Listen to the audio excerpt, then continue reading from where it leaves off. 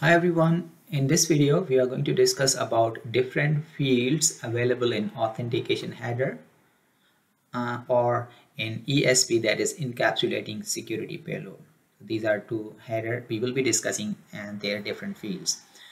So before that just an overview that why we are discussing this. So the actual thing is that we want uh, a secure communication between these two points. For example, this is site A and site B. We want that this communication, whatever is going on in between these two nodes, that should be secure.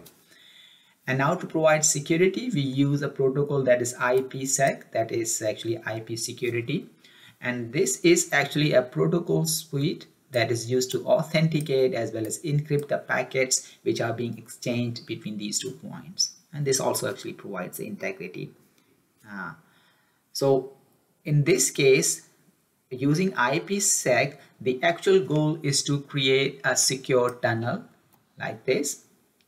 And for creating that secure tunnel, actually these two points negotiate some of the parameters. For example, they negotiate that what kind of encryption they will be using, means for hiding the data, what will they will be doing. And for authentication, what algorithm they will be implementing and for integrity or how how they will be exchanging the key which will be used for example in the case of encryption.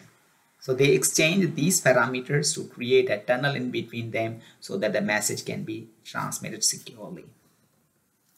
Now in doing so they are basically creating or they are establishing a security association in between them. So this is all security associations in between these two points and now security association are basically security policies for communication between uh, these two pairs.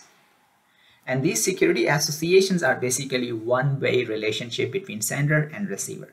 So for example, this is the sender and this is the receiver. So one of the security association will be established when we are sending the data.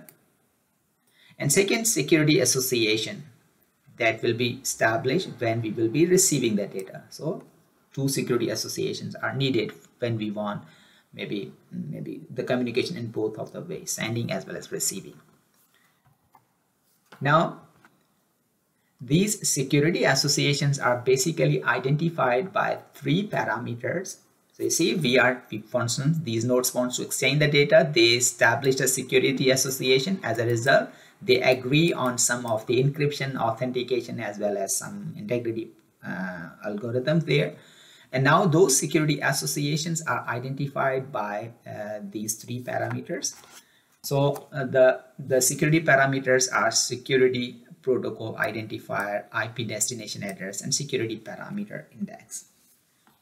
So what happens in the case of IPsec? So we know that IPsec actually works at the network layer.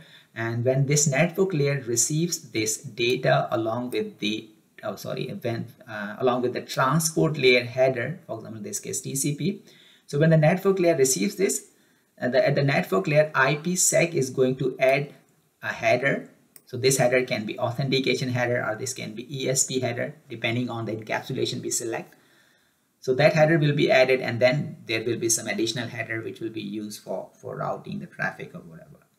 So now in this in this packet which will be sent from this point to this point we will have some information which will actually identify the security association.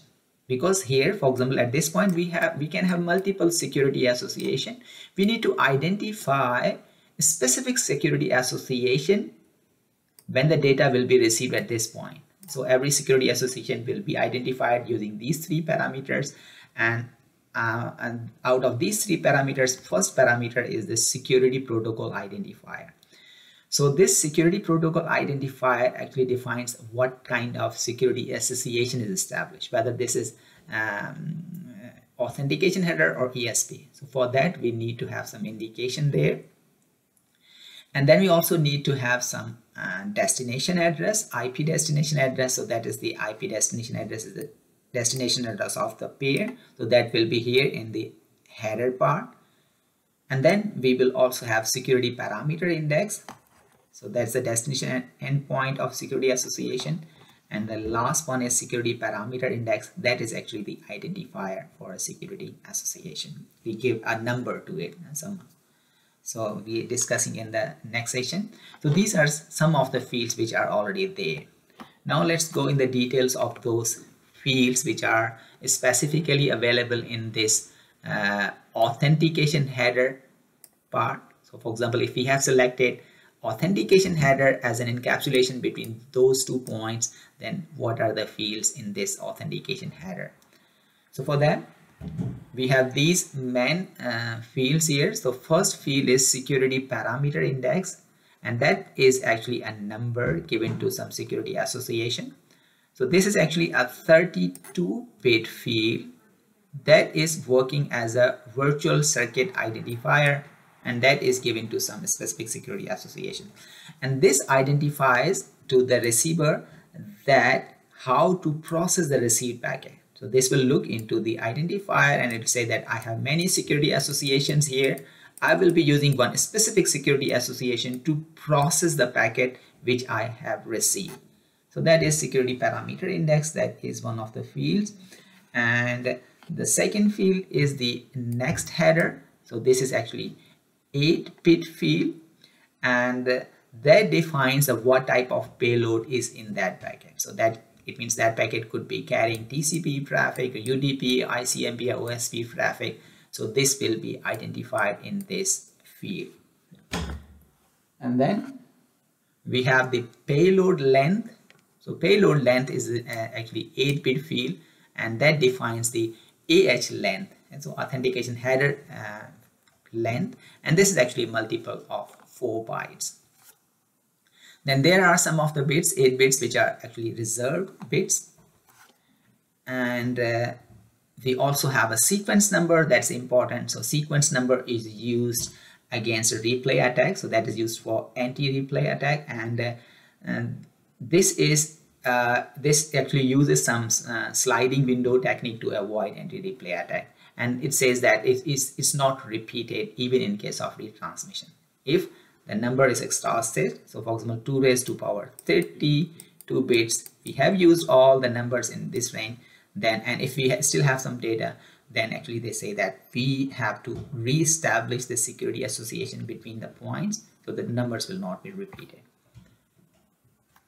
and then we also have authentication data so this is the field authentication data this is this is the field where we have the result of the hash function so what we do at the transmitting end, we just use this complete thing as an input to some hash function. Hash function generates some digest for for checking the integrity, for checking the authentication for not uh, not integrity but authentication for the uh, that thing. So for that, whatever value comes, we just put that value here in this field.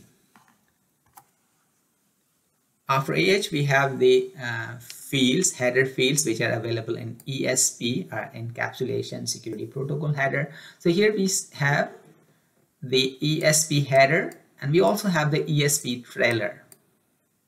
Now in ESP header part, we have the security parameter index, exactly like we have security parameter index in, in authentication header. So that is the field identifying this uh, virtual circuit which is which which is actually established between those two points. So this is a number given to that connection. Then we have the sequence number exactly the same role that is used for anti-replay attack.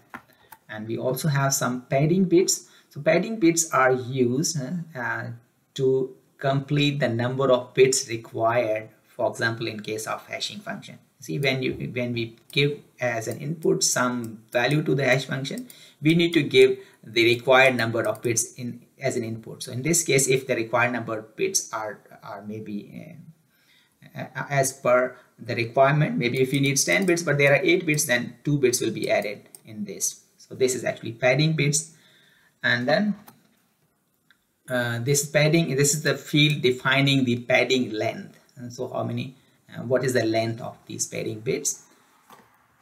And then we have actually this is not the uh, this is uh, pad length. So this should be like pad length and then we have the next header. So next header is uh, again defining the what kind of payload is carrying this specific packet. So that can be TCP ICMP or anything. And uh, then yeah. Then we also have one uh, last field that is not the field but here what happens we are adding this authentication data esp authentication data separately here. So that's esp authentication. That is the data which we uh, add here. So in, in the case of authentication header for example this data was uh, so for, for example the authentication header we found that this this uh, result of hash function is added there